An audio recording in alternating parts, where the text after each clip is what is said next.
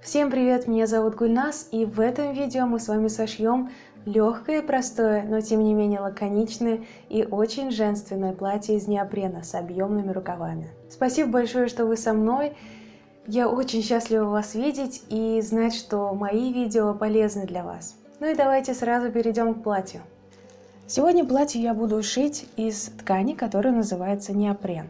Она очень похожа на трикотаж, тем, что неплохо тянется. Неопрен – это такая ткань, которую уже достаточно давно на самом деле начали использовать, но для водолазных костюмов и костюмов для дайвинга а к широкому потреблению неопрен пришел лишь пару лет назад и завоевал большую популярность. С ним можно создавать различные формы, объемы, волны, которые потрясающе держатся. А все потому, что неопрен плотный, но при этом очень легкий. Благодаря этому одежда не провисает, не утяжеляется, а наоборот, будто парит. Еще одним большим плюсом неопрена является то, что он не мнется. То есть вы можете не беспокоиться, что в течение дня ваше платье или юбка сомнется и исчезнет пышность. Сегодня из неопрена шьют все. Сумки, свитшоты, пиджаки, бомберы, купальники и даже пальто, потому что неопрен держит тепло. В общем, ткань просто фантастическая. Для пошива такого платья нам понадобится, разумеется, ткань. Для того, чтобы рассчитать количество необходимой ткани, вам нужно замерить длину от плеча у основания шеи и до низа изделия, а также добавить к этому значению длину рукава. Выкройки для платья у нас нет, мы ее построим прямо на ткани. Она очень простая.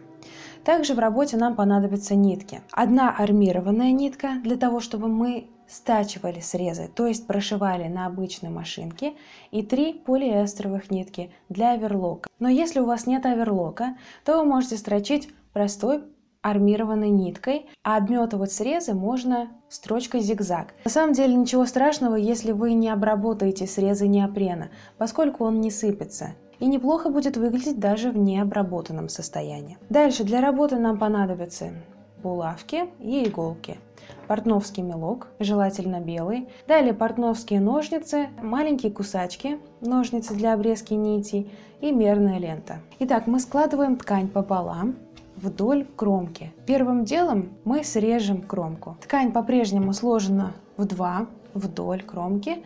И теперь мы сложим ее еще раз в два, для того, чтобы у нас образовалось 4 слоя. Неопрен достаточно играющая ткань, и поэтому я закреплю булавками по краям. Сгиб, который образовался после того, как мы сложили повторно, будет являться серединой передней половинки платья и середины задней. Для того, чтобы вам было лучше видно, я буду рисовать не мелком, а ручкой, предназначенной специально для ткани. Она легко удаляется даже при низкой температуре утюга. Нам необходимо будет сначала нарисовать горловину.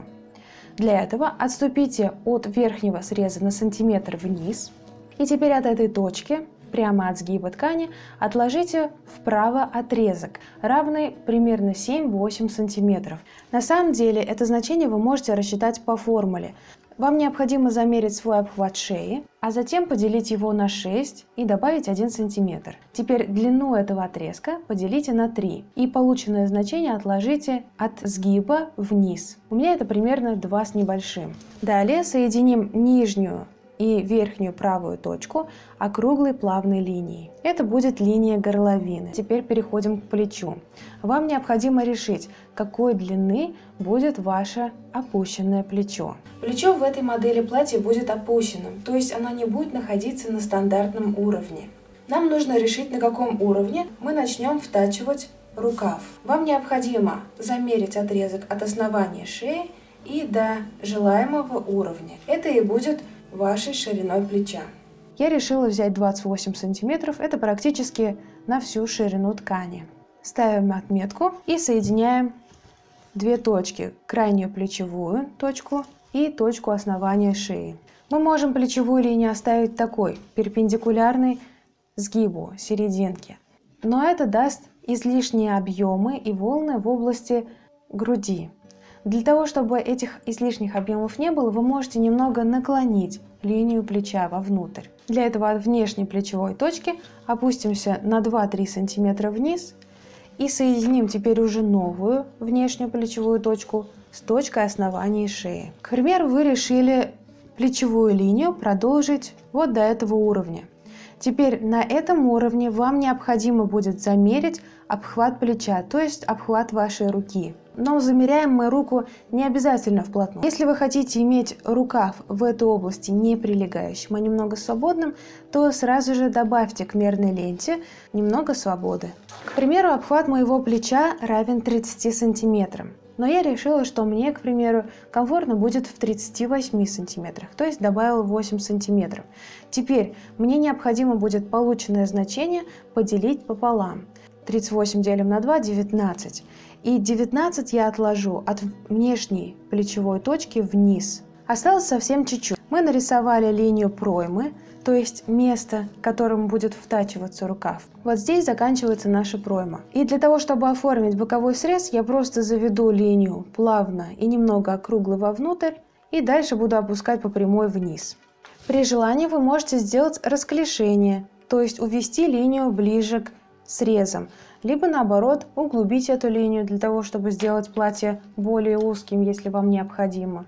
При раскрое оставьте по боковым срезам по сантиметру, по пройме также сантиметр, по плечевой линии будет достаточно тоже 1 сантиметра, а вот по горловине оставьте 5 миллиметров и краим прямо в 4 слоя.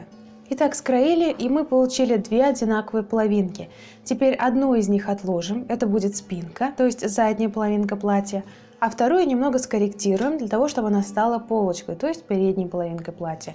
А скорректируем мы линию горловины, нам необходимо ее углубить. Для этого от среза горловины, от сгиба ткани, отступите вниз на 7-8 сантиметров. Теперь эта точка будет нижней точкой горловины.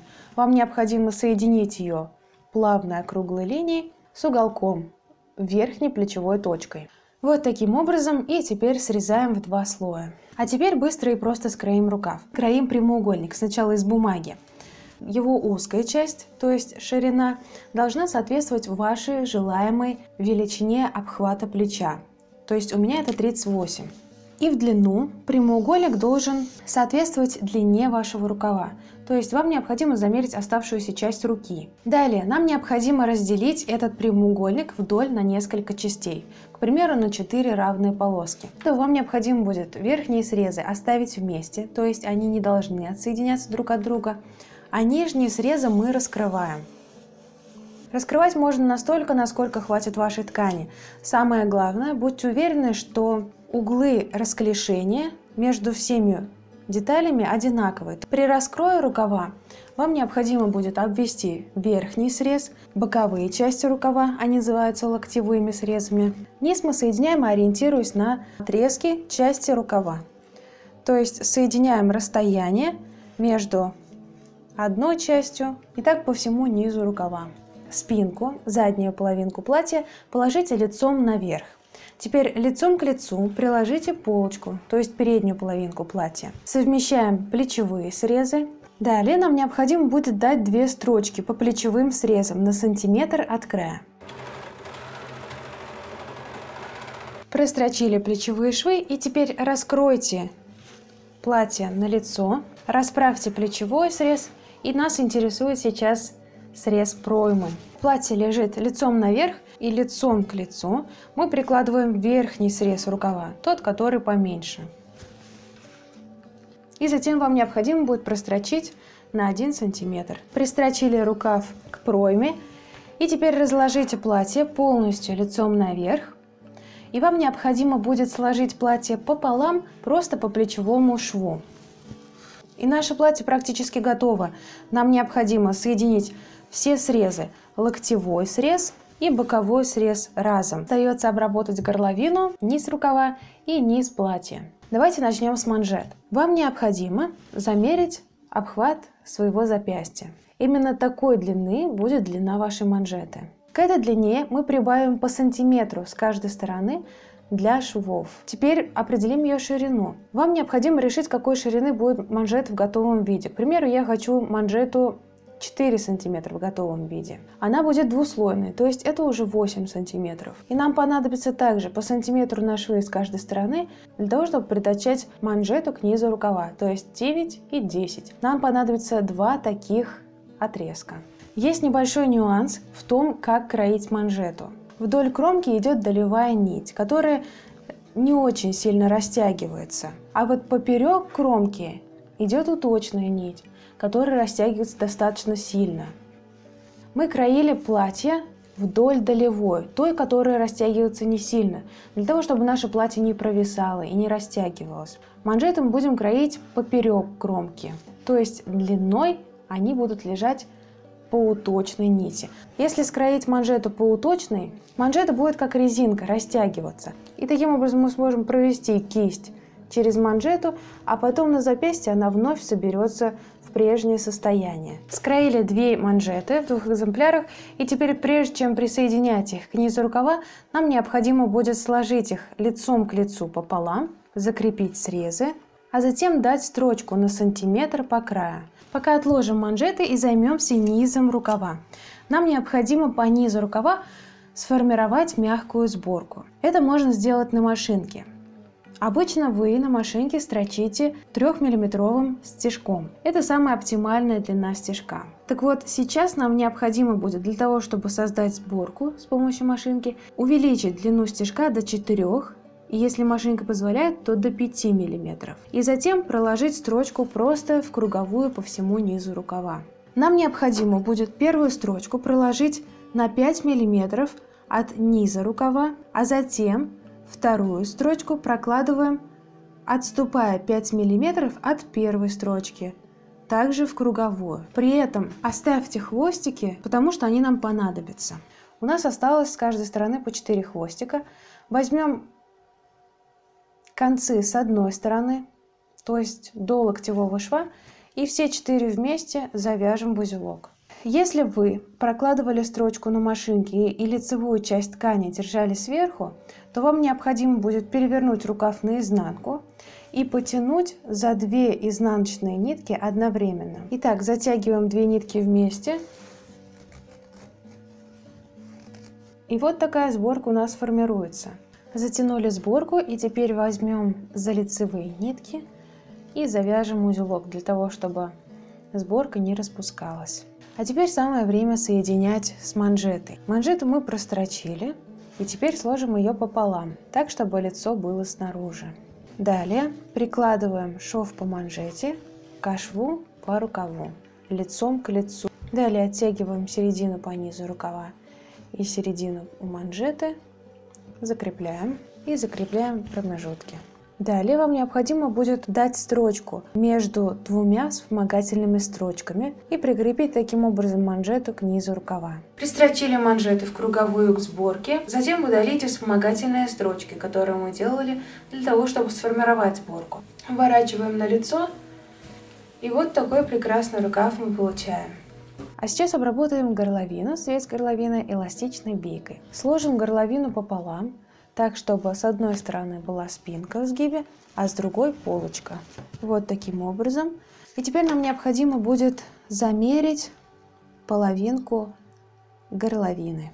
Здесь это 24. Теперь вдоль уточной нити, то есть той, которая хорошо тянется, вам необходимо будет раскроить полоску. Она должна быть равна длине горловины. То есть, к примеру, половинку у меня равнялась 24, значит Полная длина горловины равняется 48. На припуске можно не добавлять. При раскрое эластичной трикотажной бейки, наоборот, вычитает еще несколько сантиметров.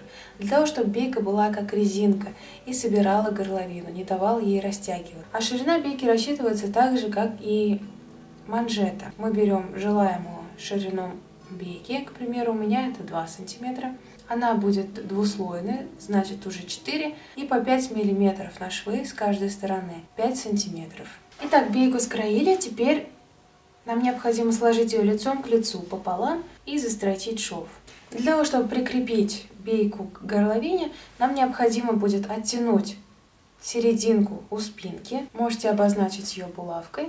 Затем трикотажную бейку отгибаем пополам, так, чтобы лицо было снаружи. И вот этот шов прикладываем к середине спинки, закрепляем. Затем оттягиваем серединку убейки и середину горловины по передней половине. Далее распределяем оставшиеся участки. Итак, бейка прикреплена, и теперь нам необходимо будет просто проложить строчку на 5 мм от края в круговую. Далее строчку по оверлоку выворачиваем бейку на лицо. И вот такая аккуратная горловина у нас получилась. Ну и в заключение обработаем низ платья. Вы можете обметать на оверлоке, либо зигзагом, а затем подогнуть срезы вовнутрь на 1-2 сантиметра и прострочить на машинке. Также можно, к примеру, загнуть один раз и затем второй раз и дать строчку, для того, чтобы никаких отметок и зигзага не было видно.